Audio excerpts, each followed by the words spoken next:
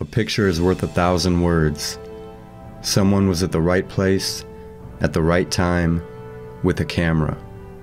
And it was reported that President Obama was furious that he was caught on camera holding this book. And he tried to block the photo being released. The name of the book Obama is holding is called The Post American World. And it was written by a Muslim.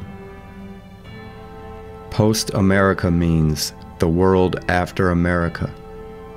If each person sends this to a minimum of 20 people, in three days, everyone in the United States of America would have the message. I believe this is one photo that really should be passed around the world.